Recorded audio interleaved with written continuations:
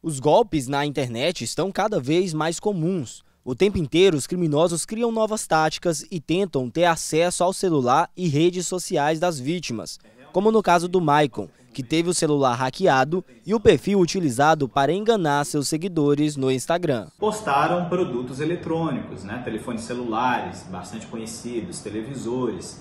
E infelizmente algumas pessoas acabaram caindo nesse golpe, porque não conseguiam falar comigo, porque eles também clonaram o meu chip, redirecionaram o meu número de área do Tocantins, que é 63, para 011 São Paulo. Então eles tiveram acesso também aos dados na operadora, conseguiram acessar o sistema da operadora. É um esquema muito rápido em que a quadrilha, são pelo menos cinco pessoas, participam de vários estados e vão passando PIX, né?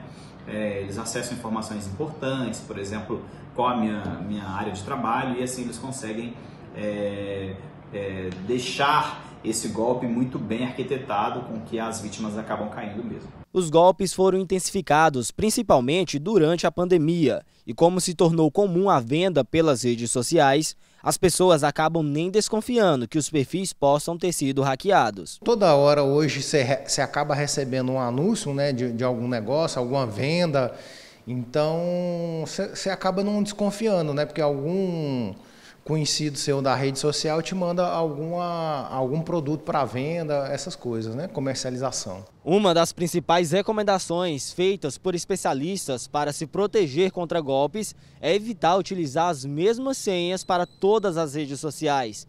Também é muito importante ficar atento às táticas dos criminosos, que possuem métodos conhecidos. Passam a, a oferecer produtos é, abaixo do preço, passam a oferecer investimentos, é, quando detecta que a pessoa gosta ali de, de fazer alguns investimentos, é, permitindo ali que a pessoa faça uma transferência bancária e de imediato para que o golpista pegue aquele dinheiro e aplique o golpe. No caso de perceber ter sido vítima de um golpe, o advogado dá algumas orientações de quais ações devem ser tomadas. Inicialmente fazer um boletim de ocorrência, é, fazer a denúncia ali na rede social que ela teve clonada, né?